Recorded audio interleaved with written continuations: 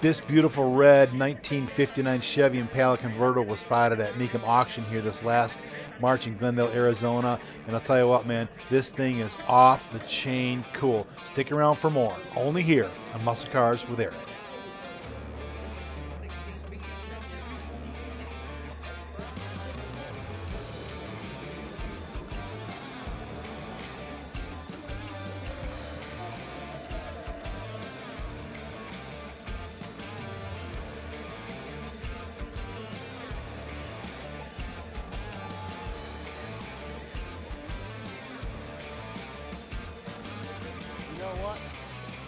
Hey guys, Eric with Muscle Cars with Eric coming at you. Thank you for watching that most recent video. Stick around for more awesome content right here on Muscle Cars with Eric.